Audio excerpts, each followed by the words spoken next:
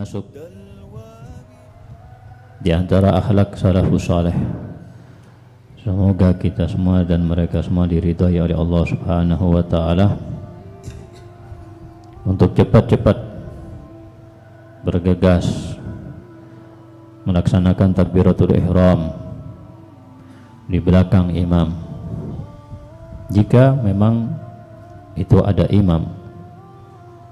Karena dalam hal tersebut adalah pengagungan untuk Allah Subhanahu wa taala.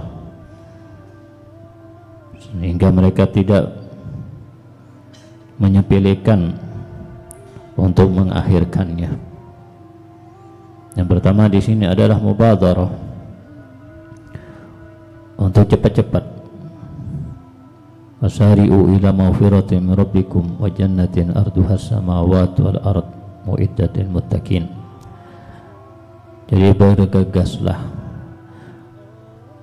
untuk cepat-cepat kita melaksanakan sholat.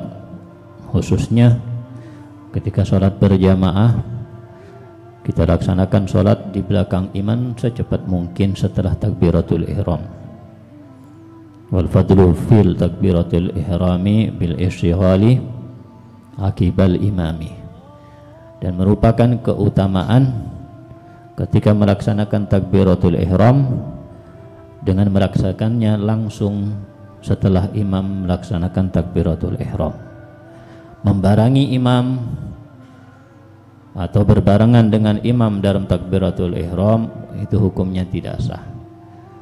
Tapi setelah selesai imam tersebut mengucapkan akbar maka secepat mungkin sesegera mungkin makmum yang di belakangnya untuk melakukan takbiratul ihram. Maka dengan itu dia mendapatkan fadilah takbiratul ihram khalfal imam.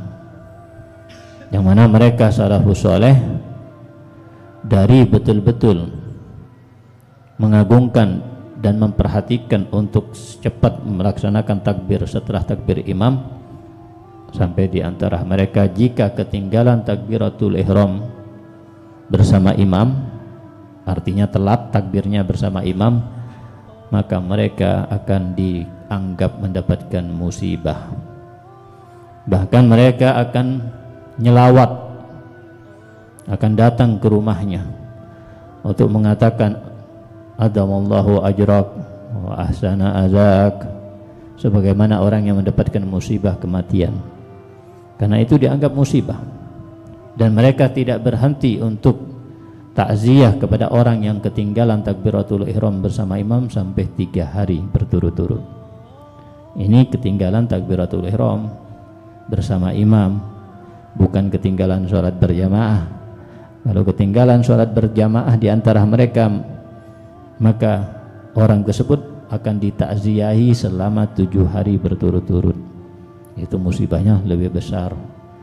Ya, sehingga di antara mereka jangankan yang sudah besar di antara mereka yang masih baru beranjak mumayyiz ketika dilihat oleh orang-orang sedang menangis menangis di masjid sehingga ditanya oleh mereka kenapa wahai anakku?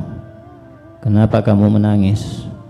Apakah kamu kematian ayah kamu maka dia menjawab tidak bahkan aku mendapatkan sesuatu yang lebih jelek daripada itu oh berarti mungkin ibu kamu meninggal dunia tidak aku mendapatkan musibah yang lebih besar daripada itu memangnya kenapa kamu menangis Aku terlambat datang ke masjid sehingga aku tidak takbiratul ihram bersama imam.